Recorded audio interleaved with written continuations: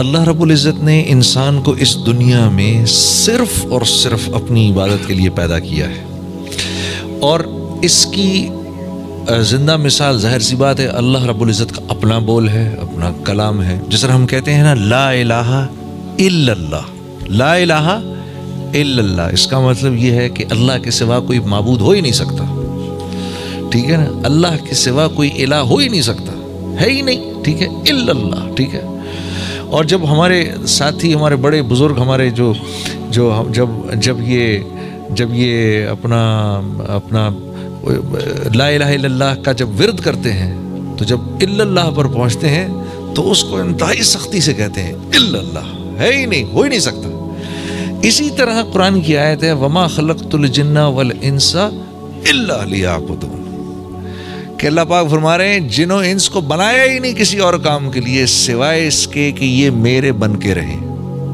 हम्म जो चीज़ जिस मकसद के लिए बनाई जाती है, अगर उसमें इस्तेमाल होती है तो वो चीज़ भी ठीक चलती है और लोग भी उससे नफा उठाते हैं। और अगर कोई चीज़ किसी मकसद, अपने जिस मकसद के लिए बनाई गई है, जब उसमें इस्तेमाल नहीं होती तो वो चीज़ भी तबाह हो जाती है, बेकार हो जाती है। हुँ? तो आप ये सोचो ना, ये ट्यूब लाइट है, इससे अगर हम कील को ठोकेंगे तो कील पर एक दफ़ा मारेंगे, इस ट्यूब लाइट के टुकड़े टुकड़े हो जाएँगे। ये क्यों? क्योंकि ये कील ठोकने के लिए है ही नहीं। ये तो रोशनी देने के लिए है। इसको इसकी जगह पर लगा दिया। अब ये देखो कैसी बाहर है, कैसी रोशनी है। हमको सबको इसमें नज़र आ रहा है। क्यों? ट्यूबलाइट अपनी जगह पर लगी है, अपने मकसद के लिए इस्तेमाल हो रही है। और इसकी जगह हथौड़ी को लगा दें ऊपर जाकर तो अंधेरा हो जाएगा। भाई, हम हथौड़ी को लगा रहे हैं ताकि रोशनी हो जाए। अरे नहीं भाई, हथौड़ी तो रोशनी करने के लिए नहीं है, हथौड़ी तो कील ठोकने के लिए है। जिस मकसद के लिए बनी है, उस मकसद में इस्तेमाल करो तो नफा देगी। इंसान को अल्लाह ने क्योंकि अपने लिए बनाया है, जब ये अल्लाह का होता नहीं तो फिर ये परेशान हो जाता है। चाहे मुसलमान हो, गैर मुस्लिम हो, कोई भी। हाँ?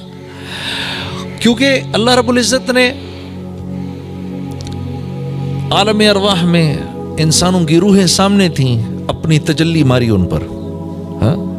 रूहें मदहोश हो गईं और फिर पूछा अलस अलस्तु रब क्या मैं तुम्हारा रब नहीं हूँ? यकीन करो, हम सबने, हमारी सब, हमारी रूहों ने, अबू जहल की रूह ने, फिरौन की रूह ने, नमरूद की रूह ने, शद्दाद की रूह ने, हैं? इन बड़े बड़े काफरों तक की रूहों ने, जब अल्लाह की तजल्ली उन पर पड़ी है तो कहा, बला। आपके अलावा और हमारा रब हो कौन सकता है? रब किसको कहते हैं? रब किसको कहते हैं? है, मुफ्ती तकी उस्मानी साहब का वो कलाम मैं कभी कभार पढ़ता हूँ।